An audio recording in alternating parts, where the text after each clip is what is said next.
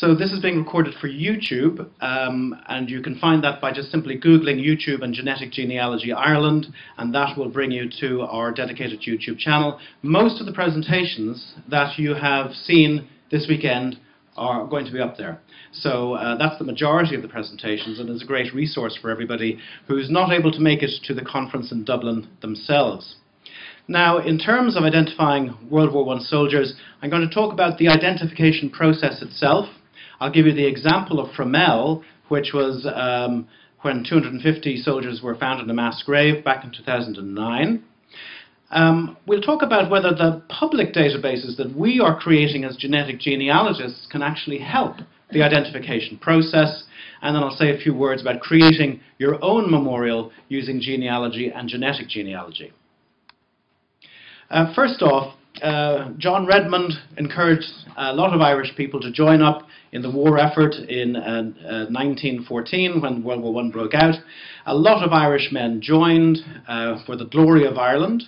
And uh, there were many Irish heroes who fought in World War I, and one of the most famous was Sergeant Michael O'Leary, who became part of the general World War I propaganda at the time, how he defeated 10 Germans single-handedly, as one against a thousand, that type of thing.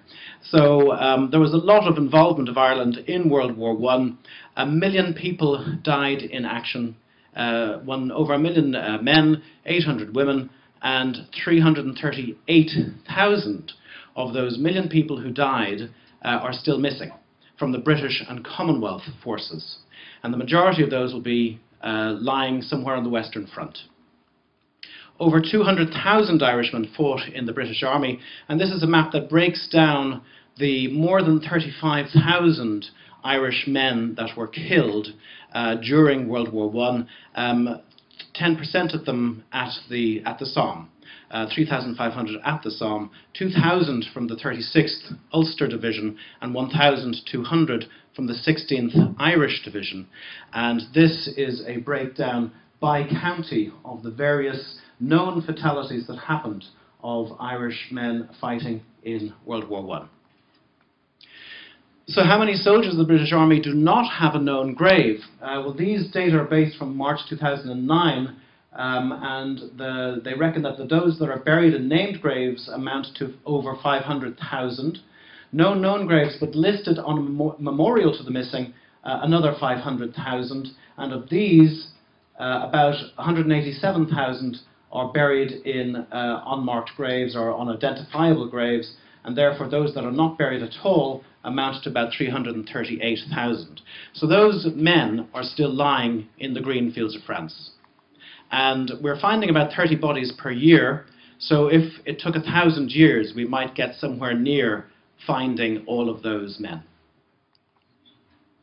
Here's just a map of the Western Front, which stretched from the uh, French-Belgium border on the coast, Ostend, going down through northern France over to northwestern France, over to the uh, German border just south of Luxembourg, and all the way down to Switzerland. And these are where some of the major battles occurred. Here's this, the River Somme here. That's where a large proportion of the World War I casualties took place. And there's also a um, Google map which actually shows you where recovery of a servicemen has been found. And you can see that it mirrors the, uh, the Western Front, that many of them were found on the Western Front. And this is where various people uh, were discovered over uh, various periods of time. So these remains are being discovered all the time. Somewhere between 30 to 60 soldiers' remains are being discovered every year during routine farm work, during road widening schemes, during excavation for building new buildings. Um, so, for example, in April 2016, there were 19 bodies recovered. Two of them were uh, deemed to be German, nine were deemed to be nine uh, Commonwealth uh, soldiers. Only two have been identified so far. You can see here that uh, the badge says Royal Warwickshire. So they were able to identify the regiment for the Commonwealth soldiers that were found. And this is just one example of these annual discoveries that occur as uh, farmers are doing their routine farm work. Now, the usual process for managing these recovered remains is to contact the police, first of all, to find out whether it's a recent death and possibly a murder. And if they come out and say, no, there's nothing recent about this, it's probably war dead, then the remains are um, uh, first of all, permission is given to recover the remains, and that recovery process may be undertaken by the local army uh, or archaeologists, or even the person, the original finder of the remains, if it was part of a, an archaeological dig, for example.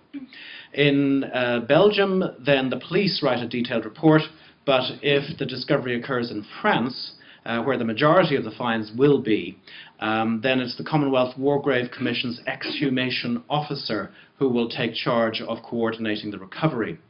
And they'll also secure the artifacts and store the remains in a specially designed mortuary they have for that purpose. Then perhaps the identity of the nationality can be confirmed. And if the nationality can be confirmed, then the Commonwealth War Graves Commission reports to the member government uh, Ministry of Defence. So in the United Kingdom, it's the JCCC. In Germany, it's the VDK. If it is um, a British and Commonwealth uh, soldier, then the JCCC will coordinate efforts to identify that particular soldier. They'll be looking to identify the nationality, the regiment, and the individual himself. And if that individual is identified, then the family will be traced and a funeral will be organized. That sounds like a very simple process, but in actual fact, it is hugely complicated. The process for identifying the remains is coordinated in the UK by the Ministry of Defence, uh, specifically the sub-team, the Service Personnel and Veterans Agency, specifically the sub-sub-team, the Joint Casualty and Compassionate Care Centre, the sub-sub-sub-team, Historic Casualty and Deceased Estates Casework Team, and the sub-sub-sub-sub-team, uh, which deals with historic casualties and war dead. That consists of two people. If you're getting the impression that this is quickly becoming an impossible task, I think you would probably be heading in the right direction. You know, if there are 30 bodies discovered every year, then two people, that's 15 bodies per person, uh, 12 months in a year, they have less than four weeks to identify each individual. That's if they're working at it full time. So you can see that there is a huge amount of work potentially um, that falls on the shoulders of these two people. So what happens when you discover 250 soldiers in a mass grave? Chaos. Absolute chaos. Um, the recovery team may involve a forensic archaeologist who employs crime scene investigation-like uh, procedures. It could include a forensic anthropologist like uh, Gapère, who was speaking to us yesterday about the Barrymore project. And that forensic anthropologist will look to maybe define the age, the height, the battle wounds, any distinguishing features like a broken arm, a broken leg that has healed previously. There may also be a military historian involved, a photographer, a project manager, and the aim is to identify nationality, regiment, and the individual soldier himself. Here's an example of some of the uh, finds. So uh, here we have a, a, an entire tank that has been discovered. Um, here is some ammunition that has been discovered, and that might tell you the nationality of the soldier. I'm no expert on ammunition, but is that a Luger? Yeah. It is? Okay, so that's probably a German soldier that has been discovered.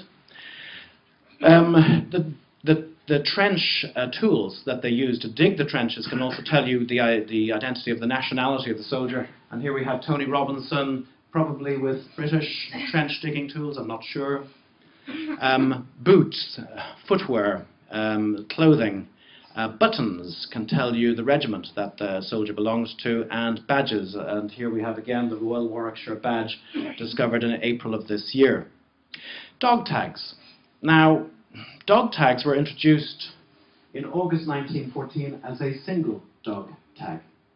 So a soldier dies, he has his dog tag on, the Germans come along and they take the dog tag to give it to the Red Cross so the Red Cross can give it to the family so they know the soldier has died. What's left on the soldier? Nothing. The two dog tag system was introduced in September 1916, which was three months after the Battle of Fromelles, so it was too late for Fromelles. So in Fromelles, it was the one dog tag system um, approach that was used, and they couldn't um, uh, identify the soldiers by dog tags in Fromelles as a result of that. Here's an example of some of the artifacts that might be found with the soldier. We have up here on the top left maybe a, an ink bottle. Here's a spoon. Here's a helmet. Um, here's a tin. Uh, these are belt buckles, I think, here, and that can be quite.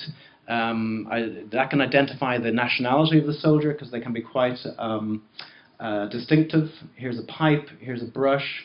Here's a book, maybe. So these are the kind of artifacts that might be found with the soldier.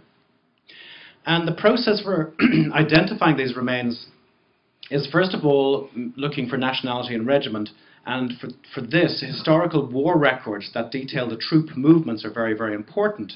And also artifacts found uh, with or near the remains, very, very important for uh, identifying nationality and regiment. Sometimes the service number would be on the spoon as well. Sometimes the service number will be on the spoon. Soldier, soldier earlier this year, John Morrison, there was a spoon with a service number. So Michelle is saying that John Morrison, earlier this year, Michelle was involved with the identification and uh, the service number was actually on the spoon. So that's quite a rare case. And I should say that Michelle, who will be featuring in this presentation, is one of the genealogists that helped identify the soldiers in the mass grave in Fromelles. So, and she did a very good presentation last year, and I have a, a link to it in the uh, slideshow, so you'll be able to take that down. Um, if possible, the individual is identified. Um, is a DNA sample taken? Well, up until about April of this year, apparently it was not, but now apparently it is, according to one of the uh, Great War forums, one of those um, discussion groups that you have online. But how the DNA is taken, what DNA is taken, and what analysis they do, there's no information. Um, there's nothing on the official websites from the Commonwealth War Graves Commission or the JCCC to say just exactly what they are doing, what the process is for DNA sampling, and what kind of DNA they're actually taking. Um, the genealogy and the potential living relatives are then traced, working with volunteer genealogists like Michelle and um, Mel is another one, and there might be, there's a couple of other genealogists around the UK um, that do this type of work. Um, but I think it's so important to emphasize that this is volunteer genealogists like you and me. Um, if the relatives can be contacted, then DNA is taken from the relatives, compared with the uh, DNA you've got from the soldier, and the identity is confirmed that way. Again, it sounds incredibly easy. You'll see how difficult it is from Fromelles. Question at the back? Uh, we uh, collect Y-DNA and mitochondrial DNA, apparently, um, from, well, we did it in the Fromelles project, and when they say they are collecting DNA, I'm assuming it's Y-DNA as well as mitochondrial DNA. I don't know if they're collecting autosomal DNA as well, which is all the other chromosomes. So, like I say, we just don't know because there's no information out there. War records are a bit of a problem. Um, most servicemen's whereabouts can be located given a name, a regiment, and a date. So if you have a, a, relative who was in the British Army, their whereabouts can be located by a, a name, a regiment, and a date. That's, that's pretty good going. And the military historian at Kew in uh, London is um, uh, able to do that. The servicemen's details exist for Canadian and Australian service files, but the British records were burnt uh, during the Blitz in um, uh, Second World War, and only about, I think it's 70% of them remain, or 70% of them were destroyed. 60 something percent of them were destroyed. So it's about 60, 70% of them were destroyed, and it means that the servicemen, the burnt records. The burnt records are the ones that survive. Um, not many, so so it's difficult to actually get uh, servicemen's details, including age, height, nationality, ethnicity, date of birth, that kind of thing. There have been issues and concern about the whole process um, expressed on a lot of these Great War forums, uh, World War I forums, Facebook, that type of thing, um, primarily around insufficient efforts being made historically to identify these found remains. Um, the recovery of the remains, sometimes the farmers do not report them because there's too much delay, it's an inconvenience for their livelihood, and it's a loss of income, and in many cases the remains are just ploughed over or they're bulldozed, and they're lost then. Also, the local laws and customs are not clearly stated or understood, and if they are uh, understood, are they actually observed and enforced? There's also a major problem with trophy hunters, uh, some of whom can be very, very aggressive Um, Andy Robertshaw talks about when he was on an archaeological dig recovering some soldiers, uh, a live bullet was uh, taped to his windscreen of his car. So there can be incredibly, certainly in Russia, I think, there is a huge business in World War I memorabilia. Also, the incentives to report soldiers' remains have been tried previously with detrimental effects. So, for example, you would get um, a bounty if you found uh, a skeleton and re reported it. So people split the skeleton in two and got two bounties. There's a reluctance to publicise the finds by the Commonwealth War Graves Commission and um, other Ministry of Defences. There's a lack of transparency as to the exact process, and DNA is not routinely recovered from the remains prior to reburial, at least historically. Is that still true? According to one of the forums, they're now collecting DNA since April of this year. Whether that is the case, I'm not sure because there's nothing official. So, on to a prime example of uh, the, the, recovery process and uh, the Fromelles project. And there is some information um, about the Fromelles project online. This is the Australian Army website. We also have the Commonwealth War Graves Commission website. So some of the information in this presentation has been gleaned from these websites.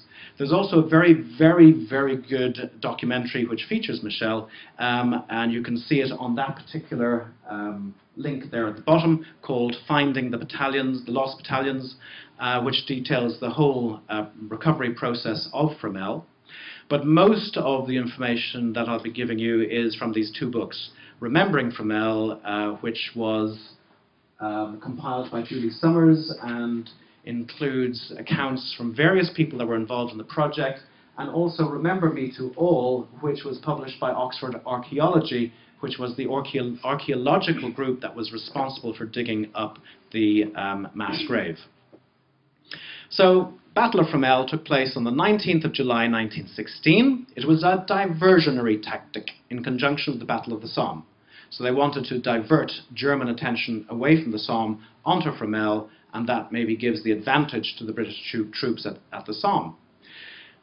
Over 5,000 Australian casualties occurred, and it has gone down as the worst day in Australian military history. Uh, 2,000 of them were killed, 1,299 were missing. Uh, there were 1,547 British casualties, of whom about 500 were killed. So you're looking at somewhere in the region of 2,500 people being killed during the Battle of Fromelles.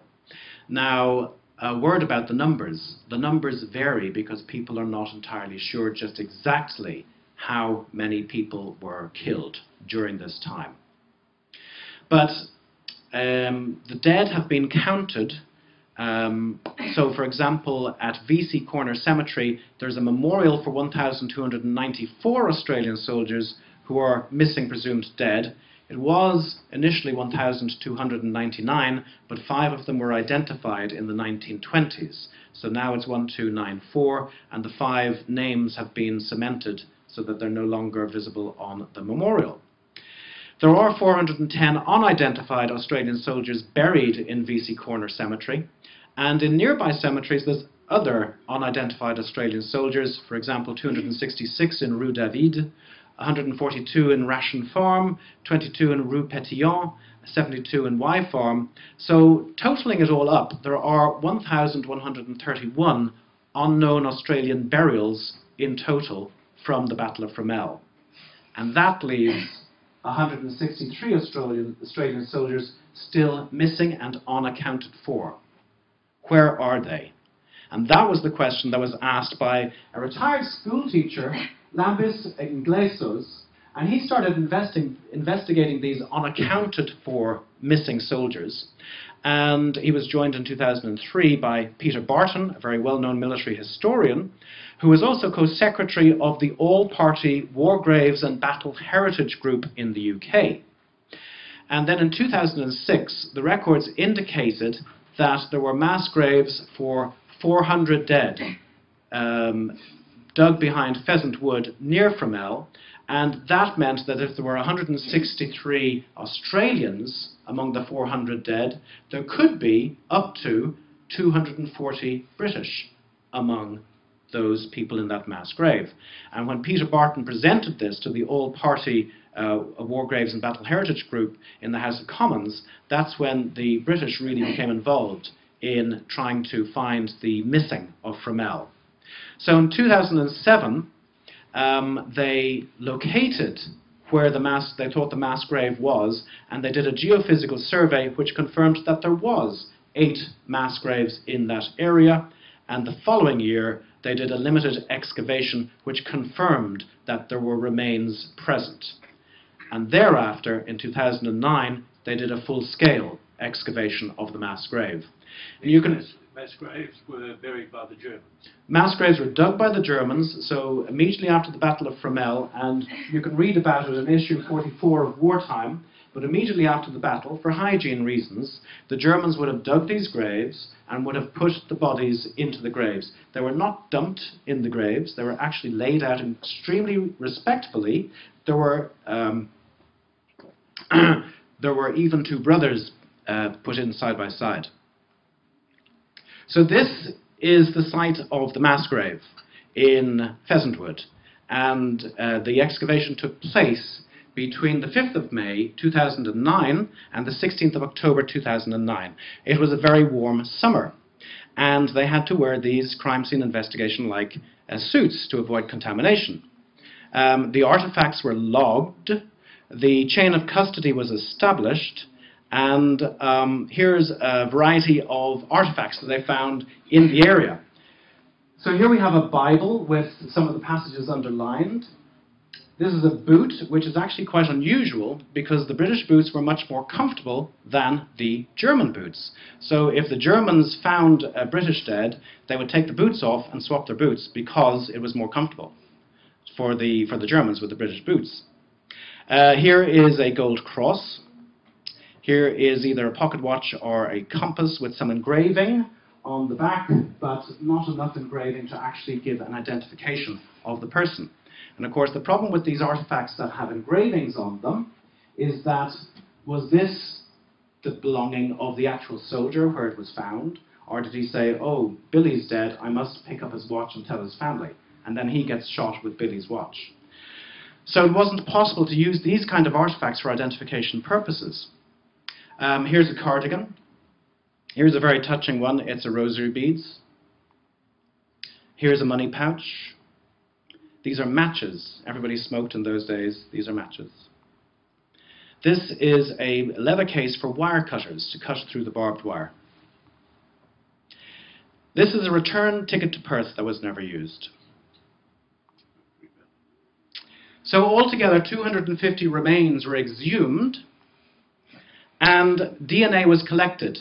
First of all, was collected from the people working on the site to form an elimination database. All those people in those white suits that you saw, they had their DNA tested to make sure that their DNA did not contaminate what they were excavating. Um, the collection was supervised by the Commonwealth War Graves Commission project manager and stored by the scene of crime officer. Uh, then DNA samples were collected from the bodies at the scene, again supervised by the scene of crime officer, and transported to the DNA laboratory, the forensics laboratory, LGC Forensics in London.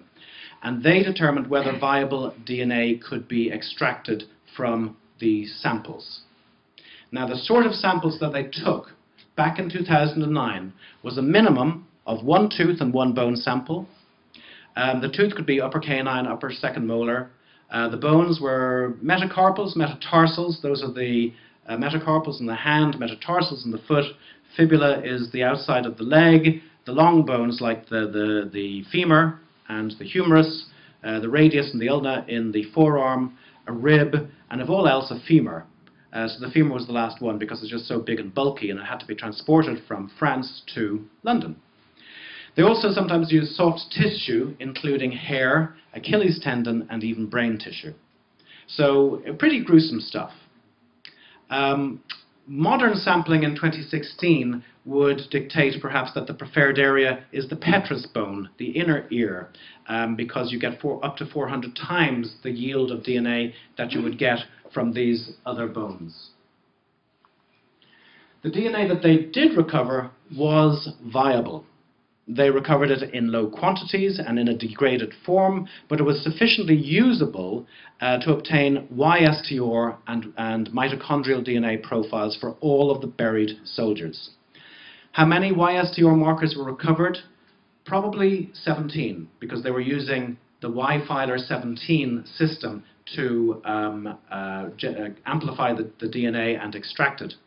How many mitochondrial DNA markers were recovered? I don't know because it's not actually reported in any of the sources that I've looked at. In order to create a comparative DNA database, remember we've got the elimination database for the workers working there to make sure that they're not contaminating. Then we've got the DNA from the soldiers themselves, all 250 soldiers, Y DNA and mitochondrial DNA. Now we need to compare the soldiers' DNA to something that's going to help identify them. And that something is the DNA from their relatives, from their family. Now, 250 soldiers were recovered, but we knew that 1,650 were missing, and they had to belong to that list of 1,650. Some of them were already buried in unknown graves or unmarked graves, unidentified graves, but we knew that the 250 soldiers in the mass grave belonged to a list of 1,650 soldiers. So what did we do? We needed a DNA sample from the families of uh, the 250, so we had to trace the families of all 1,650 that were on the list of missing soldiers. Now you can see the enormity of the task. And for this to fall on the shoulders of two people in the sub, sub, sub, sub team of the Ministry of Defence, it was a major, major undertaking and they did very, very well to do as well as they did. They, um, well, they did well to, to deal with the barrage of information they were getting from the volunteer genealogists like Michelle and Mel Pack in the UK and various other people in Australia who were involved in the identification of the 1,650 um, genealogies of those um, uh, soldiers on that list of missing and unaccounted for. Um, they wanted preferably informative DNA donors, so it had to be on a, on a, on a Y line, so that's father, father, father, father, um, a direct male line, and they also for the mitochondrial DNA, they had to, it had to be on the mother, mother, mother line, going back towards the soldier, or his parents, or his grandparents, or his great-grandparents. Um, and there preferably had to be two Y DNA samples from each family and two mitochondrial DNA samples from each family. That meant we needed 6,600 DNA donors to identify 250 soldiers. An enormous task, an absolutely enormous task. This is an example of what an informative DNA donor looks like. If we assume that this chap fought in World War I, born in 1895, died in 1916, he would have been 20 years old. Um, there's his parents, there's his great uh, grandparents and great grandparents, if he had brothers who had sons, who had sons who were still alive in, in, in 2016, these would be informative Y-DNA donors. These are people that we could test because their Y-DNA would have been inherited from the father of the soldier. It would have come down that direct male line. Uh, for the mitochondrial DNA, if the soldier had sisters, they would have received the mitochondrial DNA from their mother, passed it on to their daughters, who would have passed it on to their daughters or sons. If any of these were still alive, they would be candidates for mitochondrial DNA testing, because the mitochondrial DNA has passed down along the direct female line to these relatives and the soldier himself. If there were no brothers, supposing the soldier had no brothers, you go up a generation higher to a brother of his father, and trace down that way. And if there were no sisters, you might have to go up two generations and then trace down. Look where you have to go back to. You have to go back to 1800 in some of these genealogies to actually get informative DNA donors. So sometimes it was an easy task, sometimes it was an impossible task. But the whole idea is to triangulate on this soldier with both Y-DNA and mitochondrial DNA. And the triangulation is important because we're not just using the Y-DNA in isolation or the mitochondrial DNA in isolation, we're using them both together to use Bayesian statistical probabilities, which I'll show you shortly. Sorry, I'll leave that up for you to take a photograph. So, tracing the living relatives by, was done by the Joint Casualty and Compassionate Centre in the UK or the Unrecovered War Casualties Army in Australia. They tried two methods. The first method was publicity. They put it in the papers, they advertised it. Uh, there was a petition for family to come forward who knew that they had relatives who fought in Fromelles. That was successful in Australia, it was not successful in the UK because Fromelles was well known in Australia and everybody in the UK had not heard about it.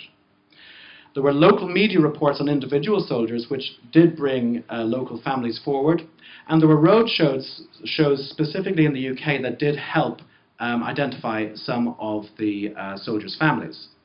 But the main method that was used to get informative DNA donors was the genealogy method, and that meant that genealogists like Michelle tracked down soldiers from the list of 1,650.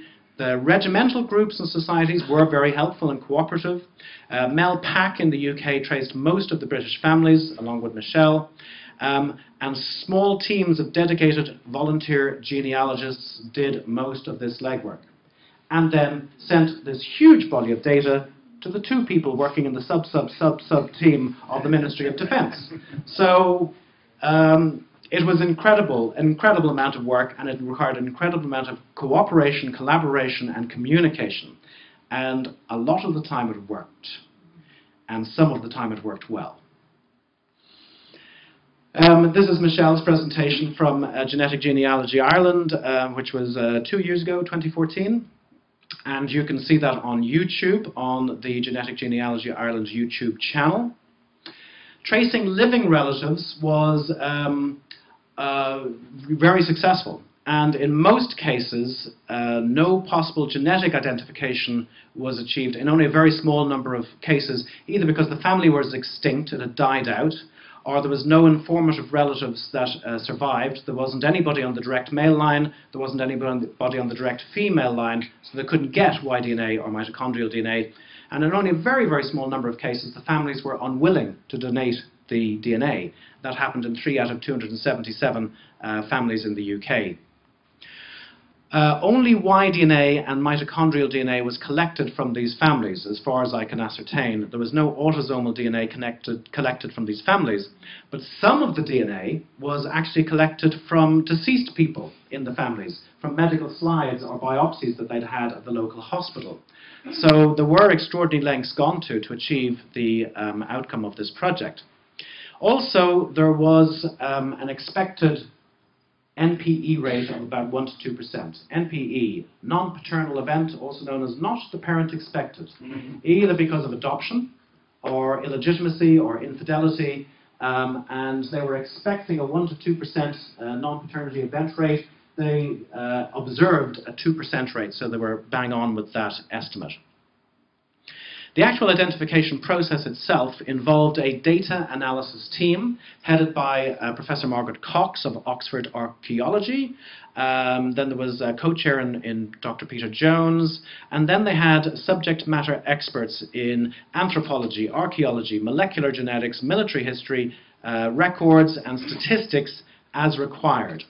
Um, this data analysis team would review all the data, that had been collected, not just the DNA data, but also the artifactual data and the age and stature and anthropological data, and then they would um, make a judgment on whether or not a particular soldier could be identified beyond reasonable doubt, and I'll talk about the identification standards shortly, and then they would make a recommendation to the Joint Identification Board.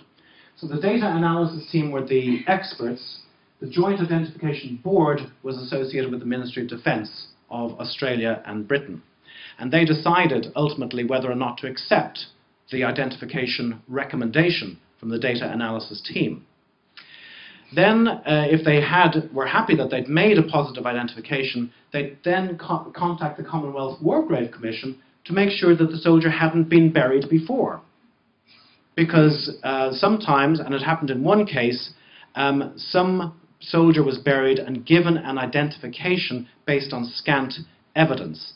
And what they discovered was that, in fact, that was the wrong soldier. That wasn't the soldier that they had buried in that particular grave. The soldier that should be in that grave was the soldier that they just identified at the data, by the data analysis team in the Joint Identification Board.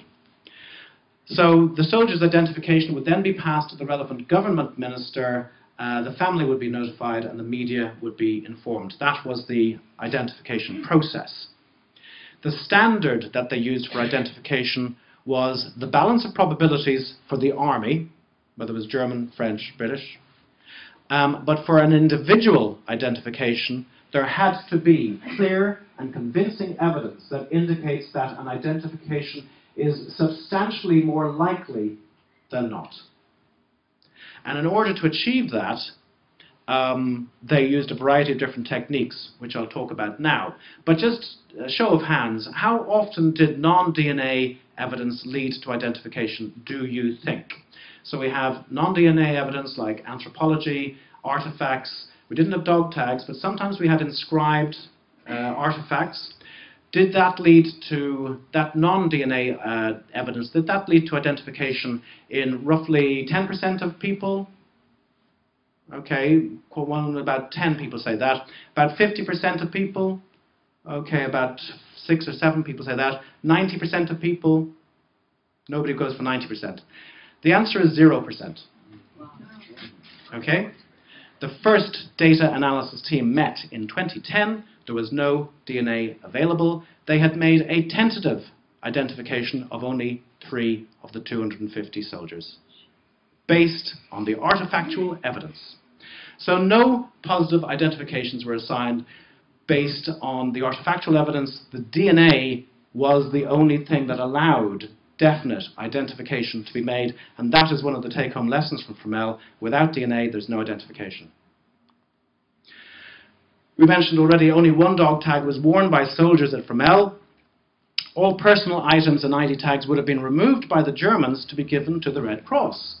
So the Red Cross could then forward it to the families, so that the family would actually have the possessions of their loved one.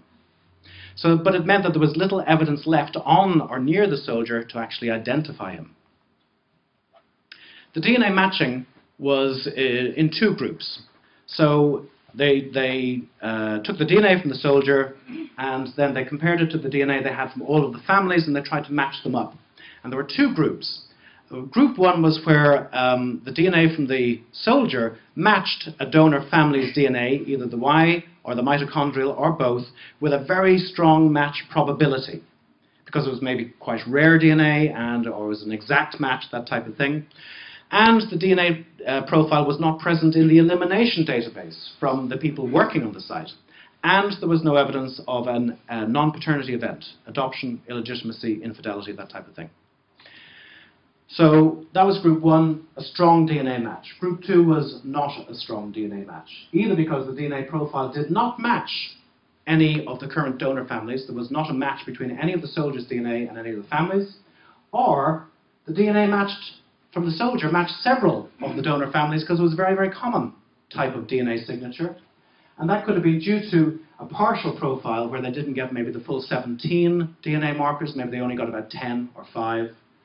Um, it was maybe a very common Y-DNA profile or mitochondrial profile, or there were contradictory profiles, perhaps because there had been an adoption in the family, and uh, there was a mismatch there between the profiles. Perhaps the DNA was only sufficient to identify a haplogroup, and they couldn't do much more than that, or there might have been a suspected uh, non-paternity event um, from the family. The family might have said, we always thought he was adopted, you know, so that would have caused um, confusion. The strongest match probabilities that were observed in the whole project was, uh, for mitochondrial DNA, 1 in 1,915. In other words, for this particular uh, comparison, the chances of it happening, the probability of it happening just by chance, is almost 1 in 2,000. It's pretty good, but 2,000 is still pretty low.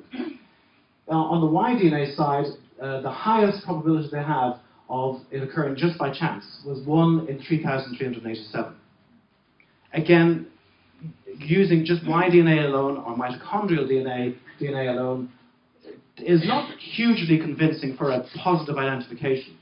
But when you combine the two, so for example, if you have one in 1,950 on the mitochondrial DNA side and one in 3,387 on the Y-DNA side, if you multiply them, then you get up to one in 6.4 million. Now that's a positive identification, you know, with 99.99999% probability. So it's the combination of the Y-DNA and the mitochondrial DNA that gave this project its real strength. Um, and that didn't happen in all cases because they did not get um, Y and mitochondrial from all of these um, uh, cases, all of these, these soldiers. And then they employed Bayesian probability statistics to uh, arrive at this overall probability that this was a positive identification. And if you're interested in Bayesian probability statistics, and I'm sure you could devote a lifetime to trying to understand them. Uh, there's a very good uh, presentation that was done by John Reid last year at Who Do You Think You Are in the UK, which uh, looks at the Bayesian probability statistics they used to prove that the skeleton in the car park in Leicester was Richard III, and therefore he should be buried in Leicester Cathedral. So um, that's uh, the fancy statistic that they used there. Um, sometimes they used haplogroup information. Sometimes it was quite useful because if you have an unusual haplogroup, then that could maybe tell you where that soldier was from. So, for example, some people had Jewish haplogroups, genetic signatures that are found primarily in the Jewish population. And of course, the religion of the soldiers was recorded on their service records. So if the service records survived and they, you knew that a soldier was Jewish and you found a Jewish haplogroup among the DNA signatures of the soldiers, you, there's only a couple of people that it might be. Also, um, Aboriginal, some Aboriginal soldiers were fighting in the Australian uh, ranks, Australian battalions, and some of these soldiers were noted on their service forms as dark, or darky, or half-caste, terms we wouldn't use today, um, but they did use them back then. Also, Eastern European uh, names were recorded uh, on the servicemen's records, and they could be matched with uh, Eastern European haplogroups, and the same for Scandinavian. Um, but these were not reliable. They were only used for supporting the identification and not for assigning the identification. They were merely a pointer or a clue. And that's important.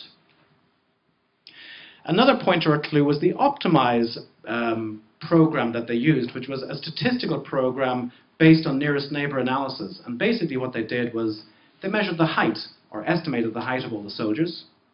They estimated the age of all the soldiers, and then they put the age on the x-axis, that's the y-axis, and then the height on the x-axis, and they plotted all 250 soldiers that way. Then they went to the service records and looked at the age and the height of all the people in the service.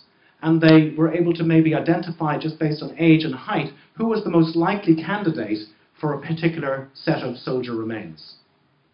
And again, the optimized pro program did not make identifications, but it offered the potential to speed up the process by using age and stature to link the remains of the buried soldiers with those missing soldiers' service records. Again, a pointer or a clue. Great starting point for your further investigations. If you want to see the science behind the story, there's a very good YouTube video from LGC Forensics themselves featuring Dr. James Walker and Victoria Moore.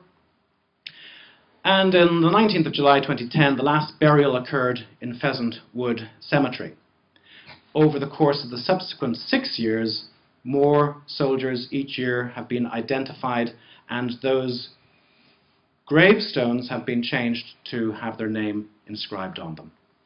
Currently, as of September 2016, thanks to Michelle, um, 150 out of the 250 soldiers have been identified. 100 remain unidentified. Some of them are, uh, some of those who have been identified are Irish. Private Harold John Burke, Lieutenant Robert David Burns, Private William Thomas Connolly, Private William Cullen, Private Patrick William Fahey, Private Percy Geeson, although I suspect it's Gleason, Private Leslie William Hart, Private William Alexander Jameson, Private William Moore, Corporal Charles William Murray, Acting Sergeant William Polding Ryan, and Private Daniel Bernard Ryan. These are people with obvious uh, Irish ancestry who were fighting in the Australian forces who have been identified. But the search is still going on for some of the Irish soldiers that died at Fromelles. Search launched for family of Donegal soldier. The soldier um, which the project is trying to match with his Donegal relatives is believed to be Joseph Curran, born in 1885, killed in action July the 19th, first day of the battle. Uh, his grandparents migrated to New South Wales from Crossroads in Donegal. Their names were Michael Curran and Anne Duggan, and both were born about 1837 in Crossroads. Perfect project for a local genealogist in Donegal. and, and that's what we need. You know, as a community of genealogists, we can be doing a huge amount of work to try and find these people. Uh, here's another one from 2010. Search for relative of Irish lost soldier. William Kavanagh of A Company, the Royal Dublin Fusiliers, fell during the Battle of Fromelles. Remains are believed to be those among the 250. 35-year-old Private Kavanagh's regimental number uh, was 23042. He's married to Mary Kavanagh. They lived at 5 Tyrone Place, Golden Bridge, Inchicore in Dublin. He was one of 4,777 Dublin Fusiliers killed on various fronts during the First World War. They can be contacted at uh, commonwealthwargraveCommission.org. So again, trying to find his relatives. Here's another one from uh, last month, September the 17th, 2016. Marge O'Leary is starting a GoFundMe campaign to pay for a professional genealogist in Ireland to trace the remains of Peter Paul Shannon, or the relatives of Peter Paul Shannon, in northern France. Um, they have exhausted our avenues of research over the past two years born in Ireland, uh, came to Australia in the 1890s. He was born in 1883 in New Ross in Wexford, um, and he joined the Australian Army in 1915. In Peter's case, none of his siblings had children, so we must look for DNA commencing in Ireland. The Fromelles Association of Australia, not-for-profit organisation, entirely run by volunteers, volunteers, volunteers. You'll hear me repeating quite frequently how important it is that volunteers are doing this work. It's not professionals. It's volunteers, or it could be professional genealogists volunteering their time. But Peter is listed on the ancestry tree for male soldiers. So if you want to see if any of your relatives are on the Fromelles soldiers list, go to that ancestry tree. And if you think you can see someone there and they need some help expanding that tree, please do give it. So, lessons from Fromelles. No DNA, no identification. No genealogists, no families to test. Which kind of begs the question, are we adequately harnessing the power of our genealogy community to assist in identification? There were 1,650 families, requiring 6,600 donors to identify 250 soldiers. Haplogroup data and optimized data were pointers or clues, and the identification process is ongoing. But how is it ongoing? Because the, they were only given a five-year remit, so now it's gone back to the Ministry of Defences of the company, countries involved, and we're not entirely sure how that is, um, is going on. Um, one of the things that struck me from reading the books on Fromelles was this paragraph here. In order to establish a familial link, it's essential to locate living genetic relatives from, if possible, both their maternal and paternal lines, Without living relatives, it is extremely difficult to match the DNA of a buried soldier to that of the family of a missing soldier, as the buried soldier's DNA profile, without an external reference, is simply an anonymous signature. But now there is an external reference, and you guys are the ones that created it. Because we have public Y-DNA databases. And these could be pointers or clues that can predict the surname of males. We have Y-search, we have family tree DNA, possibly the National DNA Database, I don't know, because I don't know enough about it in the UK. It might be just autosomal DNA. But also now we have um, the technological advance of sampling, the petrous bone, with 400 times greater DNA yield, and the number of markers that are approved for this type of work in forensic labs uh, as far as I understand it, has increased from Y-filer 17 to Y-filer 23, and we might be getting 37 at some point in time, or as uh, Professor Dan Bradley was suggesting yesterday, get a DNA sample and do next generation sequencing on it. Do a big Y test. Get those SNPs. And then compare it with the, the SNPs from the family's relatives. So this, the public databases can be a pointer or a clue, and I'll show you why. Here's Y-Search. Look how many records are in there, 177,000. And 110 unique surnames. Family Tree DNA, it has over 579,000 records in the database with over 400,000 unique surnames. So 3.3 times the number of records that are in Y-Search. Here's how you use Y-Search. Click on Search for Genetic Matches. Click here to enter any sequence anonymously, privately, without breaching the confidentiality of the soldier who has been, and his DNA that's been found in the ground. Enter it in here into any one of these 100 um, marker fields, and there are drop-down menus for each of the possible values that you can input. I put in the first 19 markers from Gleason Lineage 1 in my Gleason DNA project, and what I found was there were nine matches. There's one there. The last name is Gleason. You see, you cannot identify any of the individuals, so the privacy and confidentiality and the anonymity is still preserved. Unknown origin, unknown haplogroup, tested with family tree DNA, markers compared 19, genetic distance 0. So an exact match. An exact match. There were nine Gleason matches in the first 1,000, okay? But not all of them were exact matches. So that only gives a signal of, if you like, 0.9%. It's not very strong. But if you look just at the exact matches, Gleason appears in three of the 13 exact matches. That gives you a signal of 23%. So in this particular case, Gleason would be a prime candidate for the surname of the unidentified soldier. Do the same thing with uh, 12 markers. I entered 12 markers into this database, and look what I got. Wheaton, Wheaton, Mallenby, Wheaton, Wheaton, Holder. Four out of the six exact matches were Wheaton. In this particular case, based on only 12 marker data, the prime candidate for this soldier is Wheaton.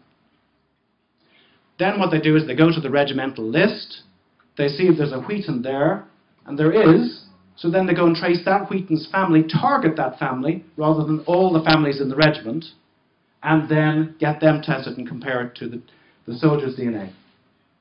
Now you can do the same with a family tree DNA, Massey Simmons, Massey Simmons, Massey Simmons at 25, Massey Simmons Simmons at 37, Massey or Simmons. Look at the regimental list. Is there a Simmons or a Massey in that regiment? Um, here's one, uh, Denman, Denman, Denman, Denman, Denman. Well, that's a no-brainer, really. um, 37 matches. There's a variety of names there. I had to go up to 67 to get two Gleasons in Matlocham, and go up to 111 to get a little in a Gleason. Uh, Gleason's most likely candidate, but I've had to increase the marker level to 111. So it doesn't work in all cases at low marker levels. How often does a Y-DNA test predict the surname? Around about 10 to 15%, based on um, data that I collected in 2014 at Who Do You Think You Are in London. 25% of men who do a Y-DNA37 test have no matches, 50% have 1 to 10 matches, 25% have about more than 10 matches. And about 10 to 15% of these 130 that I looked at had a clear signal of their own surname in the results. And that is likely to increase in time as more and more people test. So, future considerations. An unknown soldier is found, the regiment is identified, all families of the regiment's missing soldiers are traced, and the DNA is tested. Very, very costly. Instead, what you can do is narrow down via assessment for surname candidates, check the surname candidate against the regimental list, identify potential candidate soldiers, and targeted tracing and testing of that particular soldier's relatives, hugely reduced costs. And that is what will sell the project to the government. So I need to get them to listen. Uh, likelihood of being found. 30 bodies are recovered out of 338,000 that are known to be missing. The chances of your relative being found is approximately 1 in 100,000 per year. Remote. The likelihood of being identified, if we take a conservative estimate of about 10% using the DNA, is 1 in a million per year. 1 in 100,000 for 10 years, 1 in 10,000 over the next 100 years, if there's still viable DNA to test at that stage. So it's remote, but even one identification means something to somebody. Um, what can you do to commemorate, create a genealogical memorial, digital DNA memorial, or strengthen the online databases? Um, document your own ge- genealogy of your fallen relative, put it up online with a paper trail for later independent verification, identify potential living descendants for DNA testing, and leave a digital DNA memorial if you already have done a DNA test, including a link to his genealogy, the DNA data if available, and include your contact details. And you can do that either on Lives of the First World War website or Every Man Remembered website. And here's one that I left for um, my second cousin twice removed, Michael Spearin, who died in France. We know where he's buried, but I leave it as an example. Michael Spearin was my second cousin twice removed, one of about 10 children. His family tree is online at Ancestry, and there's the link, and that's where he's buried. And various relatives of Michael Spearin have undergone DNA testing. Michael's DNA is shared by the following people. YDNA, kit number AQHYD on YSearch, 209715 on Family Tree DNA, his second cousin twice, uh, once removed. Mitochondrial DNA, no one tested, but cousins are available. Autosomal DNA, kit 221175 on Family Tree DNA, his potential, his paternal first cousin. So that's the kind of digital DNA memorial that you can leave to encourage people to actually start leaving DNA profiles for their fallen relatives. Um, you can strengthen the online databases by uploading your YDNA to YSearch, uploading your um, mitochondrial DNA to MitoSearch, uploading your autosomal DNA to GEDmatch, and then putting the kit numbers on your digital DNA memorial. Um, I have a World War I Missing in Action DNA Legacy project on Family Tree DNA. You're more than welcome to join should you so wish. And it's really just to leave, it's just a memorial really, um, using, because we are genetic genealogists. But the whole purpose of this uh, process is to try and turn this type of gravestone, a soldier known unto God, into this type of gravestone, which actually has the soldier's name on it, and giving soldiers the dignity of having identification in death. So, thank you very much.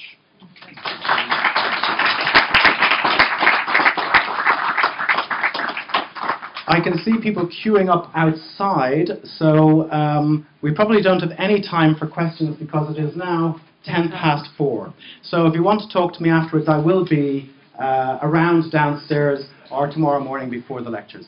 So thanks very much for your time.